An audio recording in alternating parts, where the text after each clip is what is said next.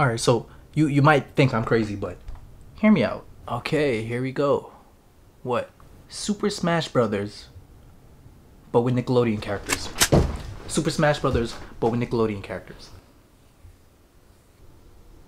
Um, you, you didn't hear what I you don't you don't seem excited.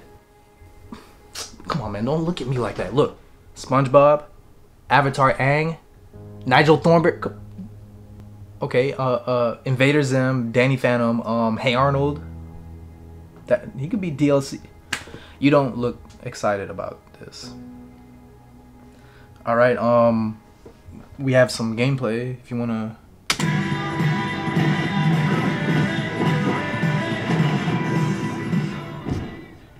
Nothing.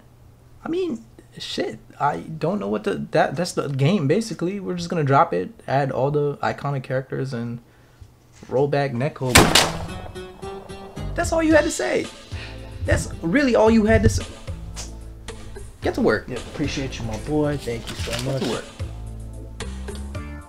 I, I just realized the window isn't open. I, I was supposed to look outside the window. The blinds are closed, and this is missing. So yeah, um, that's the video. Am I gonna do that part again?